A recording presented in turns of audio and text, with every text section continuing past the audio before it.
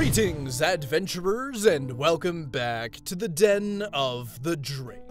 Other dragons hoard gold, while I hoard internet cringe. If you're a DM who has recently learned that in D&D, corpses are considered objects and now you're planning to use a horde of mimics to recreate the plot of John Carpenter's The Thing, go ahead and hit like and subscribe.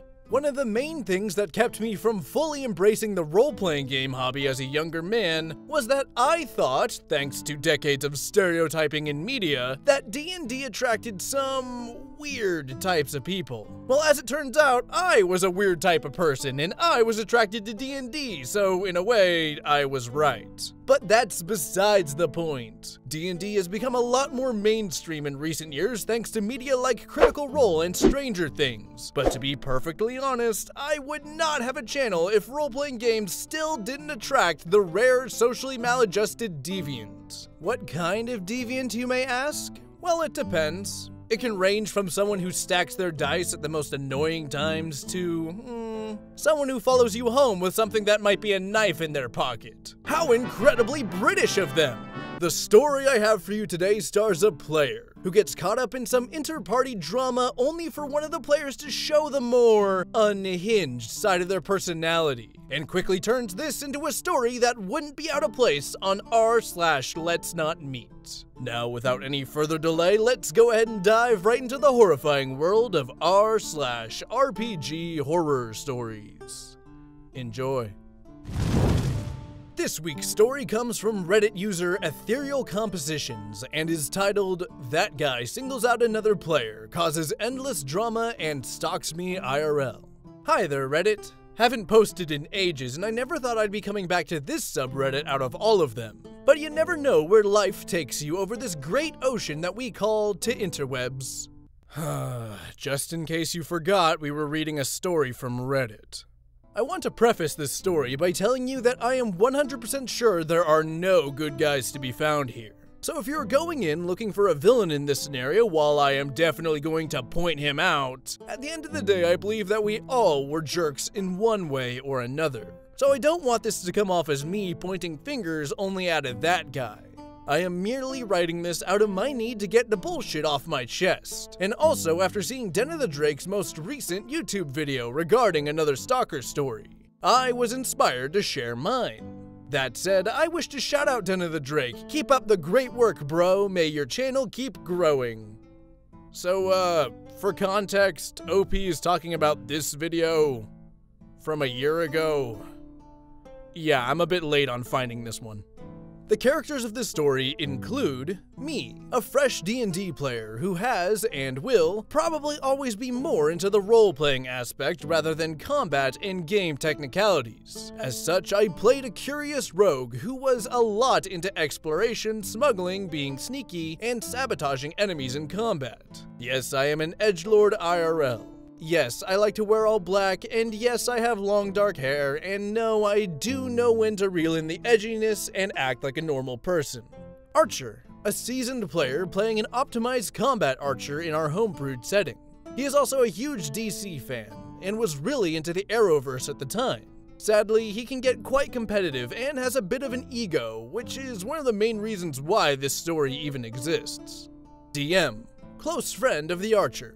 Not much of my friend, and whenever he played, he would go for the Paladin class. Pure lawful good, of course. As a DM, he always tries to be fair and ensures that consequences always existed whenever something stupid happened. Unfortunately, he would end up being a collateral victim of that guyism. And of course, Merfolk Paladin. That guy, and the reason why I am writing this tale. His character was a representative of some weird sea god a la Poseidon, who acted as an emissary for his people. Now that we are set, let me take you back to the days of Yonder, May of 2017. I had just moved out of my folks' place, and I had gotten my own apartment in a bigger city than my province hometown. While I knew DM, Archer, and Merfolk Paladin all from Elder Scrolls Online, I was happy to find out that they were all living or were staying or renting in the same place that I was moving. In fact, I met Merfolk Paladin on one of the first nights that I moved in, and he showed me the ropes around. It was pretty cool. Back then, I had put a pause on college and was focused on maintaining my new job in order to keep surviving in the new place, so I couldn't really socialize much except with my coworkers, who were all normies with whom I shared little to no interest. As such, Merfolk Paladin was the only friend that I had at the time. To show my gratitude for him spending time with me, I would regularly invite him to spend the weekends at my place, treat him with home cooked meals, and alcoholic beverages, and never once asked anything of him. Hell, I never even complained about him back then, and even when he puked all over my bathroom floor after we found out one night that he has a low tolerance for Jack Daniels.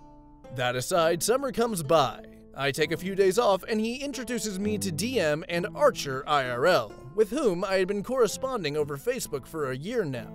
They were as I expected them to be. DM was a well read religious guy with weird fixations, and Archer was a well built truck driver who took no shit from anyone, but was really cool once you got to know him. After we spent a night drinking, discussing movies and girls, and generally being laid back, DM has this great idea to start a D&D campaign. All except me were versed into the game, and while I had heard about the game before, I was reticent to join. However, due to a mixture of beer, wine, and whiskey in my blood, it wasn't too hard for them to convince me to create a character. First thing in the morning, of course. Things went well after that. DM was really helpful in understanding what I wanted from the game and helped me to create my first character sheet. I was really bad at creating stats and choosing items, but I was really creative when it came to my backstory.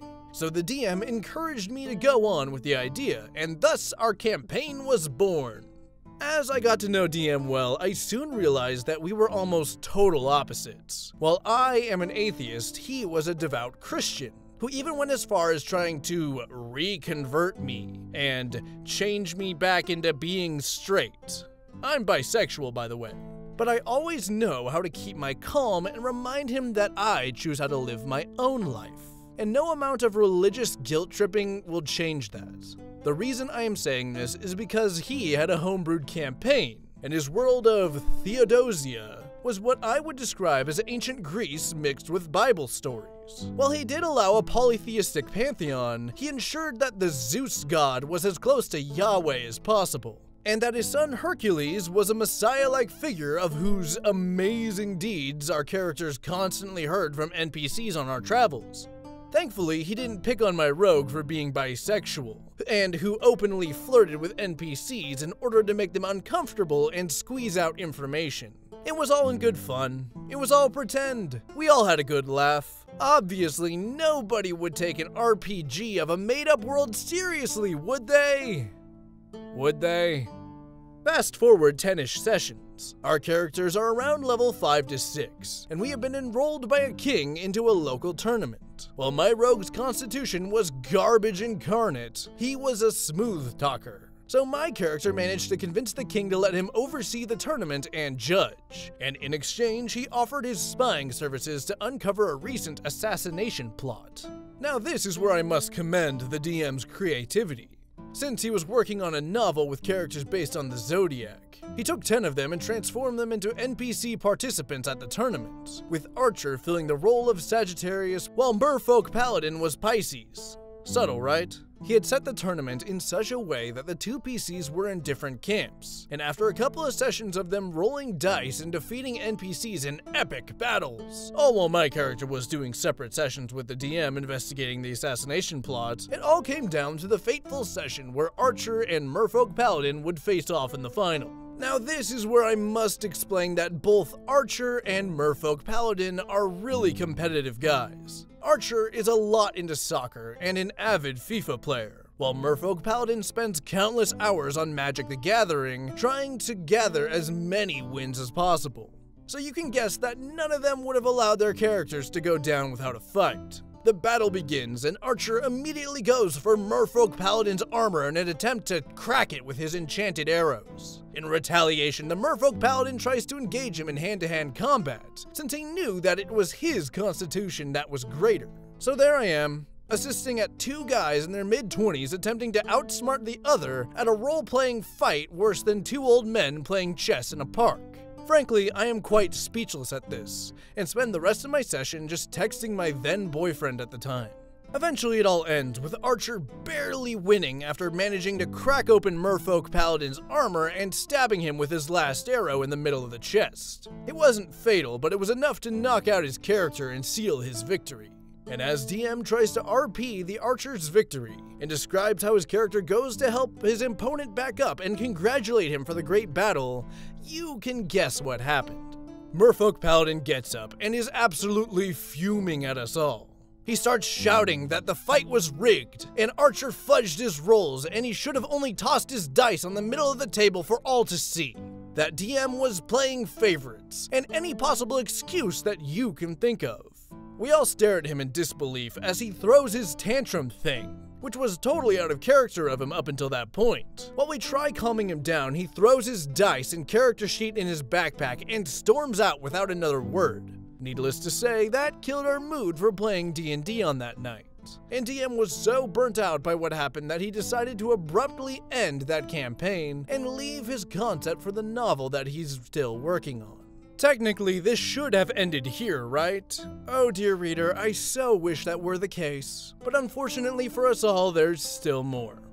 Later that night, as I got home, Merfolk Paladin begins assaulting my Facebook with long rants that can be basically summed up as Dude, what the fuck? You were there, you clearly saw that Archer cheated, yet you said nothing. Why did you spend your time on the phone and not say anything?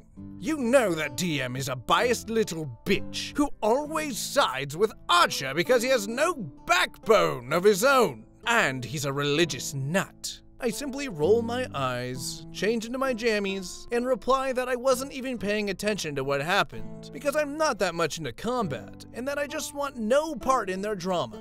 Then I go to sleep.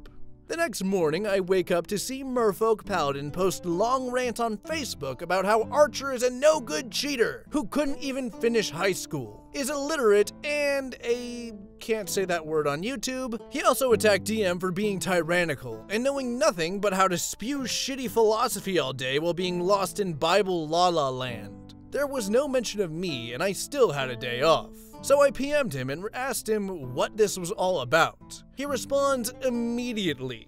Did he even get to sleep that night? Saying that Archer admitted to fudging his rolls and is a self professed cheater, and DM is being so unfair and biased for taking his side. He then demands that I cut my friendship with Archer and DM, and that I join him on his quest of spreading hate against them to all of our online friends, so that everyone will know what kind of people they are. I internally sighed and asked what's wrong with him. I firmly tell him that both he and Archer are good friends of mine and I don't want to choose between them, that we shouldn't have let a mere game get in the way of our friendship. What do you think his response was, dear reader? Do you think he would suck up his pride and admit that he was in the wrong? Do you think that he could feel bad for putting me in such a position after I hosted him, fed him, ensured that he had fun weekends, and never once asked the same of him? Of course not, that would be totally silly. Instead, he exploded into paragraph upon paragraph of vitriol filled hate directed at me. For starters, I was a spineless little bitch who would be capable of so much more, but I decided to limit myself by living in Archer's shadow. I was apparently also biased for daring to choose Archer and DM over him. And unlike the high school dropout and religious nut job, I was studying for an English degree and knew to speak well, but never knew when to shut up. I could keep on the tirade of insults he kept throwing at me, but I will just sum them up. He viewed me as a loser with no social life who clung to him for friendship, and he threatened that he would spread the secret that I was bisexual, and even threatened that he would find my folks over Facebook and out me and my then boyfriend. I'm still not out, and thankfully he never found them. I was in absolute shock.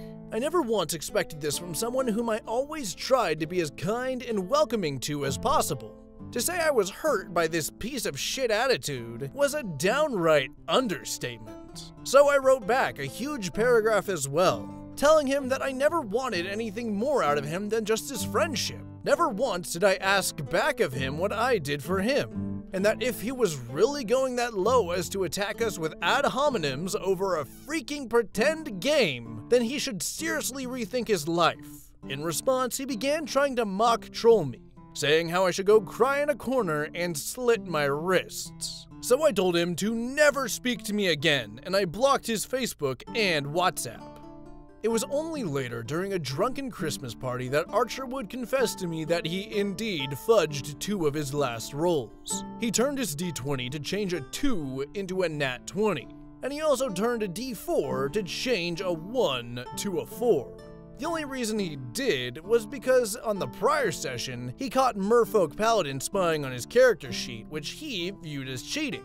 So in response, when Merfolk Paladin, DM, and I went to go buy some snacks, Archer took a picture of Merfolk Paladin's character sheet and prepared to counter him in battle. He also claimed that he made the fatal mistake of admitting these things on the night when Merfolk Paladin had a meltdown and apologized, in an attempt to patch things up with him. As you can see, that only served to add fuel to the fire, I'm afraid. Both DM and Archer blocked him and kicked him out of our group, so this should have been the end of the story, no? I'm afraid there's still a bit more to this. You see, Merfolk Paladin had common friends with Archer and DM, and soon those would become my common friends as well. Two years after that incident, I was at a party at another friend's house. Out of the blue, Merfolk Paladin shows up uninvited. The host is surprised when he hears the two of us know each other. Merfolk Paladin puts up a great act. He pretends that he missed me so much that I was a great host that whenever he listens to a metal band, he thinks of me basically kissing my ass. He did the same when we used to be friends, but he always praised me to heaven and back. But this time I was wiser and I spent the whole night giving him passive aggressive quips, to which he acted totally shocked and offended. Needless to say, after I left, I PM'd the host and gave him a TLDR of what happened. And since then, I have never crossed paths with Merfolk Paladin at an event. A week after that meeting, it was a late Sunday night, and I was on my way home after a long day of partying, drinking, playing board games, and generally fooling around. My neighborhood is fairly quiet, but also dark at night. I had walked out of the subway, crossed the road, and made my way down the dimly lit alleys that were darkened by rich trees. I was tired, and my only thoughts were of a warm shower and soft bed. Then, out of the blue, I get the strange feeling that I'm being followed. I take a quick glance with the corner of my eye, and would you know it, a tall figure is only a few feet behind me, walking at a similar pace. I dismiss it as just my imagination and keep going. Eventually, I exit the alley into an open street. There's a non-stop candy shop at my left, and a student dorm on my right. And thankfully, there are a few people around having a talk. I turn around and I am horrified to see Merfolk Paladin. He's wearing a black hoodie and is pretending to be on his phone. But he did the fatal mistake of stopping as soon as I stopped and turned around, so he could not hide the fact that he was following me. I ask him what he's doing here. He puts his phone down, gives me a creepy smile, and reaches for something in his pocket. Time seemed to freeze at that moment. I could feel my heart racing as I took back slow steps. I could swear I saw a knife handle being pulled out of his pocket, although the dim street lights might have played a trick on my eyes. Needless to say, I bolted the hell out of there, and thankfully he did not give chase. When I had the courage to look back, I saw that the guys who were having a chat in front of the candy shop were right in front of the alley. I got home and locked the door as well as I could as the sudden realization hit me that creep knew where I lived. I immediately texted DM and Archer, and they were in pure disbelief. DM advised me to contact the authorities, while Archer was so pissed that he was about to gather a bunch of thugs and go find where Merfolk Paladin lived just to beat the bejesus out of him. We all knew where we lived except for him.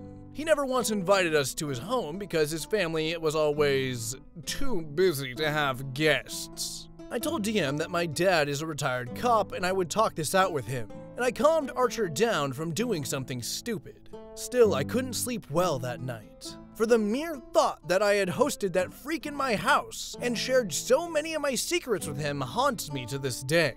Thankfully, my dad gave me some tips on self defense and advised me what numbers I should call if I suspect I am being stalked again. In hindsight, I should have pressed charges against him, but I had no proof at hand and I was just too busy with both my job and picking up college. I decided to let the matter drop and went on with my life. Aftermath DM had gotten engaged and moved out to another town. I last met him last year at a Christmas party. He has a new group and has worked more on his novel. The campaign is also based on his homebrew, and the new players are having a blast. Archer and I are in touch on an almost daily basis. Although due to our jobs, we're rarely face to face. We still play ESO together, and we swear that one day I will corrupt him and get him into Magic the Gathering, whether he likes it or not. While he no longer has time for D&D, I am in a new D&D group with a new DM who is an absolute joy to play with. He has earned my 100% respect for his world building, storytelling, and balanced encounters. I never got in contact with Merfolk Paladin again, but the last I heard of him was from a common friend who said the dude had picked up DMing and has gathered his own D&D group. Sadly, the party didn't last more than three sessions for unknown reasons because I wasn't curious about the details. So that's my story, Reddit. In hindsight, we were all assholes. Archer should have never cheated or stooped down to Merfolk Paladin's level. DM should have called them both out and punished them.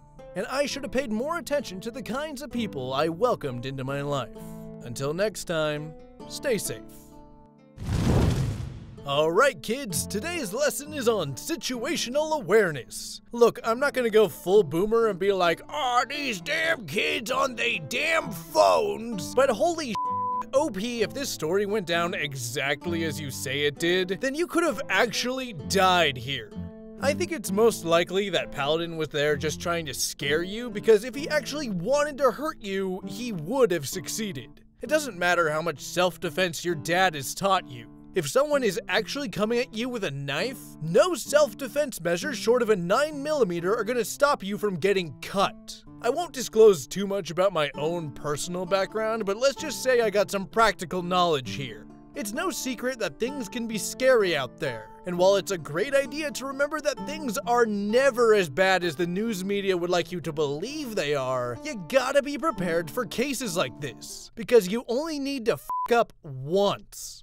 Like, this isn't even the funny haha dragon anymore. Situational awareness is the number one prevention tactic towards situations like this. Know the threat before it becomes a threat, and always be aware of what's happening around you, and 9 out of 10 times, things are gonna turn out okay for you if you respond mindfully to a potentially dangerous situation. I'm not saying be paranoid and come up with a plan to kill everyone you meet, like you're about to put on an Australian accent and start throwing bottles of Girardi everywhere, but what I am saying is that we, as a younger generation, have a bit of a habit of tuning out the world. We always gotta be listening to music, we always gotta have our headphones on listening to podcasts, and we always gotta have a funny haha cartoon dragon shout worthless platitudes in our ears all the time. And we're either drunk or high when we're doing it. We do not like paying attention to what's going on around us, and I'm guilty of it too. You just gotta be aware that being absent at the wrong time can have some serious consequences. It goes without saying that Paladin here is unhinged in a terrible way that no one could have ever really predicted, and it's that unpredictability is what makes it the most dangerous. Sorry to get all heavy out of nowhere, but this is going to be a lot more impactful to people than any quality of life improvements in a role playing game ever could. Okay, enough of that. As for the actual in game interactions, yeah, OP was correct in saying that everyone was kind of an ass here. When D&D devolves into a dick measuring contest, you know it's time to call it quits. I mean, yeah, it's better than actually coming to blows, which we know is not out of the realm of possibility with the Paladin here. But if you're sharing a table with two people who can turn a fun dice game into a source of such spite and vitriol-filled anger, then why even bother trying to have fun at that point? Well, I have both good and bad news. The bad news is like every good horror villain, we have not heard the last of Merfolk Paladin. And the good news? Well, it seems like OP has survived long enough for there to be a part 2. Here's hoping it stays that way. The Return of the Stalker That Guy. Hi there, Reddit. I'm surprised it's only been a month since I last posted, and I haven't gone back to another hiatus, but here we are. On my last post, I was intending on sharing other RPG horror stories from my past, which were shorter, but I'm afraid that is not the case for now. On my last post, which can be read here, I was stalked by someone who I viewed as a close friend, and who tried to turn me against two other friends as well. And unfortunately for all of us, there is a follow-up to this due to recent events. First, I must start by prefacing that Merfolk Paladin, that guy, has lots of social media due to our common geeky interests. I could easily find him on places such as YouTube and DeviantArt. However, I forgot that he also has a Reddit and mostly lurked on RPG related subreddits. I'm fairly sure that he had discovered my post, Reddit, and realized that it was about himself, because I can't find another explanation for what happened these past few days. Anyway, the characters for this particular story are as follows. Me, now a fairly seasoned D&D player with 5 campaigns under his belt. I'm still pretty uneasy when it comes to combat and spellcasting, but I can happily say that I've improved my character building in RP thanks to the help of my current group. New DM, really awesome guy, super geeky in the best ways, has a vast knowledge of many domains, and is always a pleasure to spend time with, despite our political differences. Archer. Unfortunately now a retired D&D player due to his job, but we're still close friends and we speak on an almost daily basis on the phone. He is the victim of that guyism in the previous story. Artist, casual role player and another geek. We used to date back in late high school, early college, before I met any of the other people mentioned here. But sadly, we couldn't just cut it due to the highly different personalities as well as romantic egos. Despite this, we're still close friends to this day. Merfolk Paladin. That guy who threw a tantrum over losing a tournament in old DM's campaign, then tried starting a full-blown hate campaign on social media against Archer and old DM, and later also stalked me and attempted to intimidate me by seemingly pulling a knife. Last July had been a pretty busy month. Between working hard at my job, participating in new DM's campaigns, deck building in Magic the Gathering, thanks to my new D&D flavored set, I barely had time to dedicate to my other creative hobbies, such as writing or even planning my birthday, which wasn't yesterday. I had invited Artist, who lives in another town, to my birthday party, an invitation which he gladly accepted. During last month, he begins posting pictures of the new painting he is working on and much to my surprise and delight, I see those are sketches of the main characters from my story. I comment on one of the pictures, expressing my gratitude for the upcoming present, because I always love when I receive fan art of my story, and he replies in a similar manner, thanking for all the years of our friendship, etc., etc.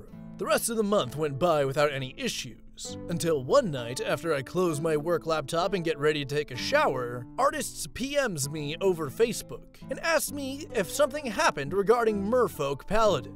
I admit I got the goosebumps when I read that name. When the realization comes to me that I had never told Artist about the drama which happened four years ago between my old group and that guy. I reply to him that I haven't heard of Merfolk Paladin in a long time and I wasn't keeping in touch, to which he replies back with screenshots of their conversation. Apparently, Merfolk Paladin knew about our former romantic relationship, and that we were still close friends. I must have told him one night when we were drunk.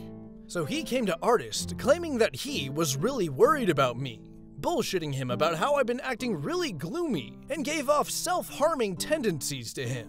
Worried about my safety, Artist intended to contact me, but I was offline due to my work hours, so instead he chose to pursue the conversation and then message me once my shift ended. Merfolk Paladin then goes on long tangents about how I am emotionally unstable and clingy, how I need to be coddled and babied by big boys, how I can't be trusted to live on my own, and how I always need a friend to look after me. This unfortunately touched Artist's compassionate bone, who asked if there was something he can do to help. Thankfully, Merfolk Paladin is not the most subtle person, and he begins bombarding artists with personal questions regarding me, ranging from, What is OP's daily schedule? to, Do you know what really causes OP to have an emotional reaction?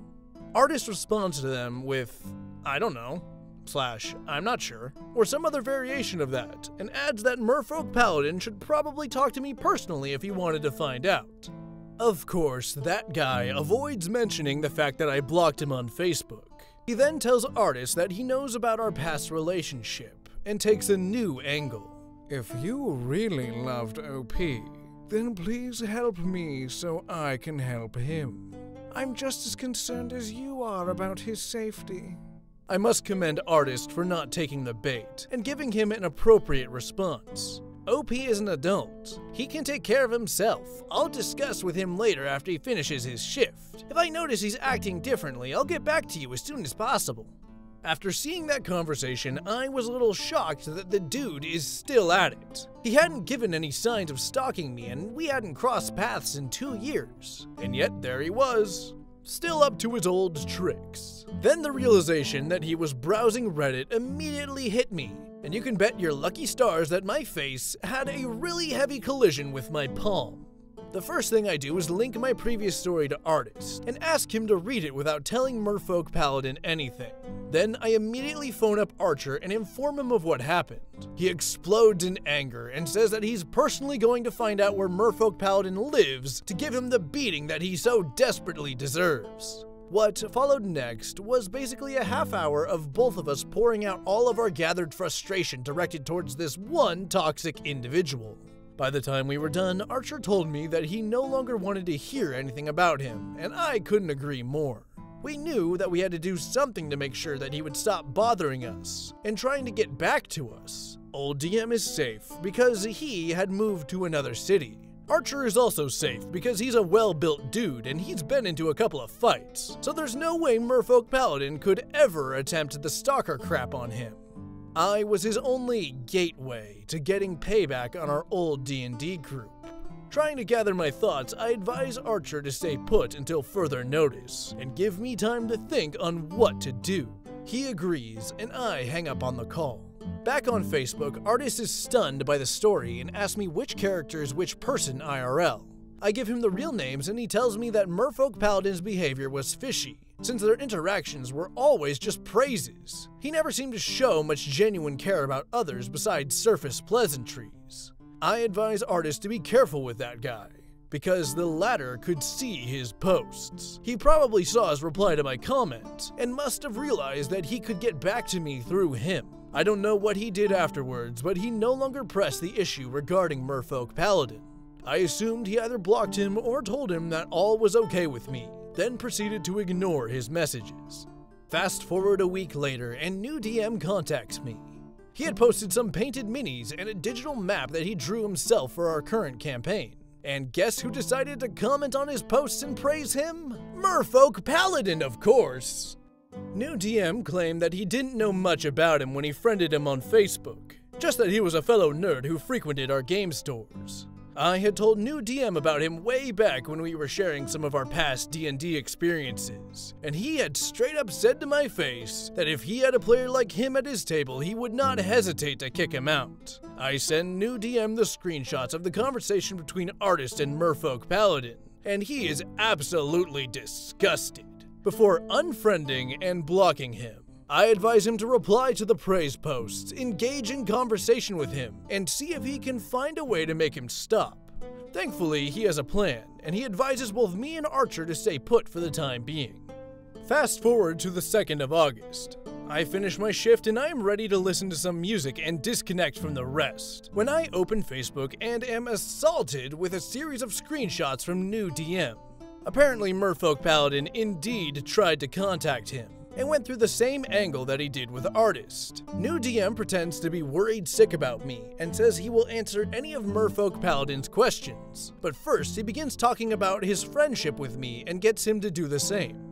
As they do, New DM lies to him that I moved to a new apartment, closer to his neighborhood, and then shifts the conversation to D&D, campaigns, homebrews, and eventually gets Merfolk Paladin to discuss about our old campaign from 2017 he revealed that he was way more into it than we gave him credit for, and that he had single-handedly written his character's backstory, got it approved by Old DM, and bragged that Old DM loved his character so much that he introduced him in the novel that he's working on. Something that he didn't seem to bother to do with the homophobic slur rogue and drunken archer. Then he went on and on about how he was the soul of the campaign, how he was keeping the mood up with his funny jokes, how Archer and I were just stereotypical edge lords trying to steal his spotlight with our Mary Sues, etc., etc. New DM acts all shocked and feigns indignation at Merfolk Paladin's injustice, then invites him to his current campaign, where I am also playing. adding that he can help him cook up a plot to get his payback on my current rogue character. He also welcomes him to use his old character sheet. What followed next were a series of paragraphs about how Merfolk Paladin was going to appear in our campaign by jumping out of a sewer while my new rogue was trying to retrieve an ancient artifact for his party.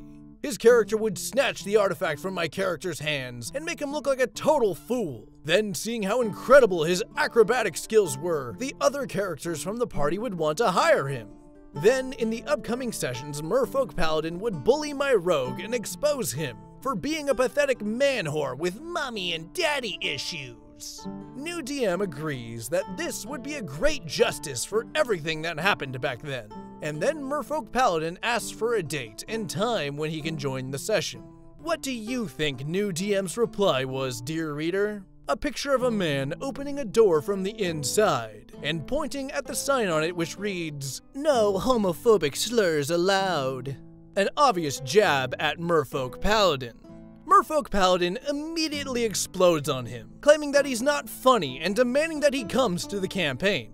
New DM then tells him that I have screenshots of both of his attempts to get to me through Artist and himself, and says that if he keeps on like this, I will go to the police with evidence and bring up our little nocturnal encounter two years ago when he pulled a knife on me. Merfolk Paladin's response You have no evidence. Stop slandering me. He then blocked New DM. Later, at my birthday party, Artist confirmed that he blocked Merfolk Paladin too. So, that's the follow-up to my first story about that guy who took a loss in a fictional D&D tournament way too seriously.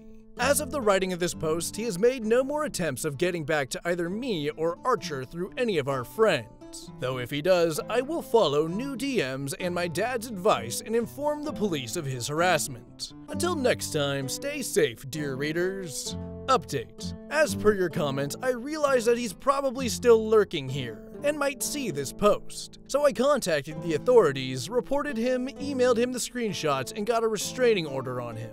Better safe than sorry. Update 2. The police searched Merfolk Paladin's room and found some bags of cocaine. According to his PMs, he was dealing them with his current D&D group. He was fidgeting and acting nervous while being interrogated and refused to answer the allegations that he was online stalking me. As of now, he's looking to at least a couple of years in prison. This has been one crazy ride, but I am happy to say that it is finally over. P.S. Archer, I know you don't really browse Reddit, but in the off chance that you find this post, thank you for all the support you have given me these past four years, and for coming last night to console me and make sure I'm safe. You're a bro, and I'll always be grateful for your friendship. End of story. So, let me get this straight. Your DM's brilliant plan in response to you telling them about your past with this half a decade long grudge holding psychopath who responds to disrespect with threats of violence is to mouth off to the half a decade long grudge holding psychopath with a history of threats of violence. Does this guy have a room temperature IQ or what? He knows where your friend lives, you fucking moron! In situations like this, you need to skip the theatrics and skip to the part where you get the authorities involved.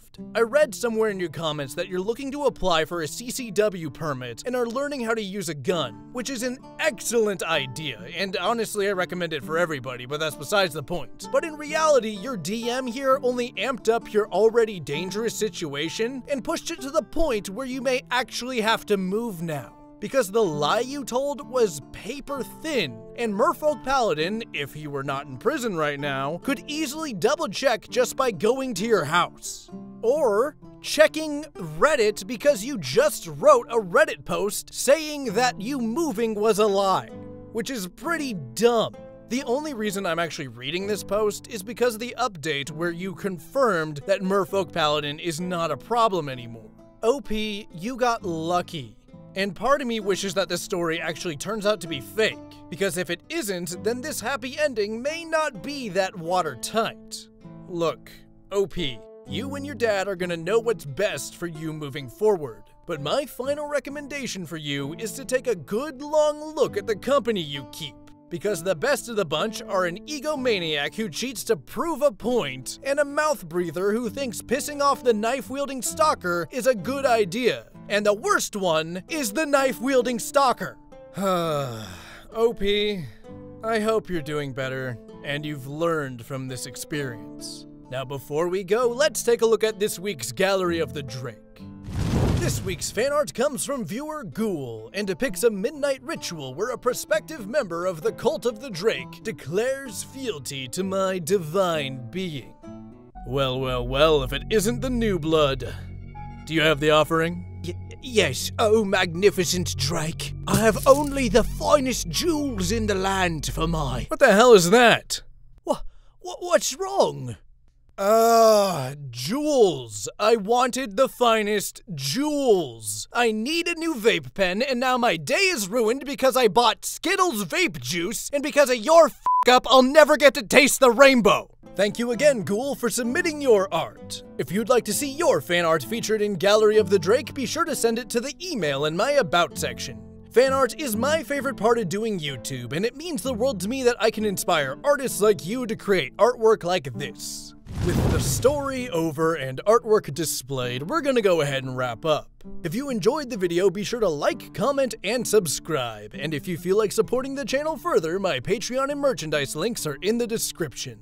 I would like to thank you all for listening, and I hope to see you next time in the Den of the Drake.